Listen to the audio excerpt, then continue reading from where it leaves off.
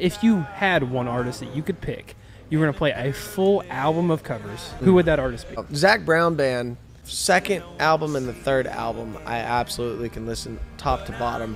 And I just love how, uh, as a band, they're so smart with the movements that are going on, chord wise and time changes and everything. It's just uh, inspiring to get to that level as a band. I'd probably go with Zac Brown. They're just killer musicians. Is Another one of those albums Uncaged? Yeah, I love that Yeah. album. Yeah, it's a good top album. to bottom. Yeah. And then Colder Weather. It's that album. If you listen to that top to bottom Yeah. and then you get to that last song, who knows? It's 10 minutes long. but Yeah. Just listen to it.